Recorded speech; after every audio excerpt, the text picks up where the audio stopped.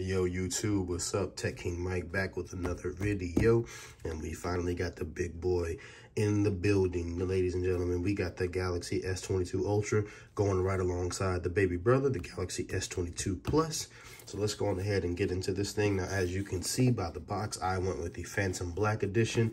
I did go with the big boy, so I have a one terabyte unlocked model here. And you may be asking yourself, why would I go with a one terabyte model? And that's because I have a one terabyte iPhone 13 Pro Max. And I do intend on putting my SIM card inside of this phone and using it as my main phone. And on that one terabyte iPhone 13 Pro Max, you wouldn't believe me if I told you, but I am using 672 gigs of storage. So one terabyte is a must for me. And I've always had a one terabyte micro SD card in my Galaxy devices as long as they've been able to take them. Now, looking around the box, of course, same thing with the S22 Plus.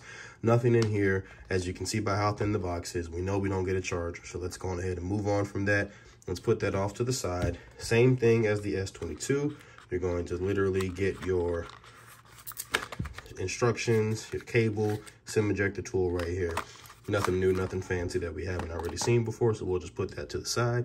But now, let's get into this Galaxy S22 Ultra. Now, man, it's been a long time since I've had a Note device. Uh, I haven't actually fully used the Note device since the Note 10 Plus. So this is going to be a welcome, welcome change. Now, obviously, first things first, in the hand, definitely feels a lot different from the S22 Plus. As you can see, the height and the overall build is just, you know, completely different with that flat top and everything. Now, I was expecting this to be a matte finish, and it may be a matte finish. It may just be that the plastic that's on it right now is throwing it off.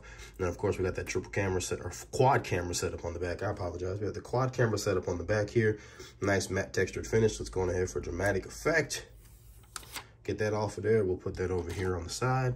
And there it is, folks. The Samsung S22 Ultra in that Phantom Black. It doesn't get more better than that. Always bet on black.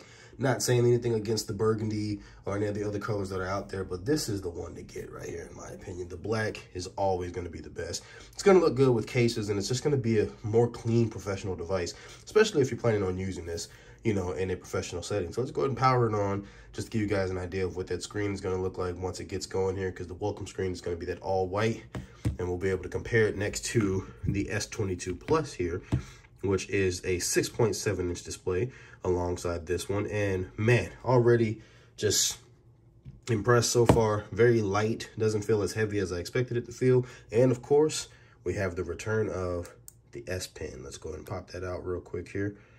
So you got your S Pen here. Your S Pen is nice with a rubberized coating this time around. So the S Pen has a nice rubberized coating.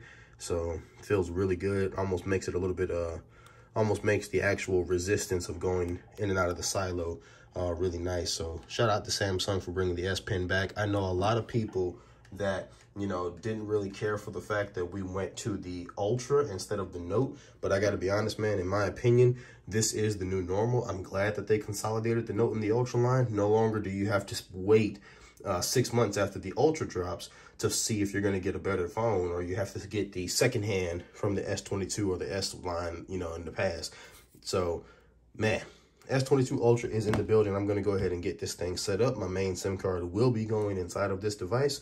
So we will be getting it nice and set up. And of course, make sure you stay tuned to the channel because we got case videos on the way. Got some Pitaka cases, got some Ringke cases. And of course, I'm going to attempt to do this on camera for you guys. We got the white stone dome glass screen protector installation as well. And also stay tuned because we will have a burgundy unboxing because for the first time since the Note 8, me and my wife have done his and hers. So make sure you stay tuned for the burgundy unboxing coming to the channel really soon. But with that being said, folks, it's your guy, Tech King Mike. I will catch you all in the next video. S22 Plus, S22 Ultra unboxing first impressions.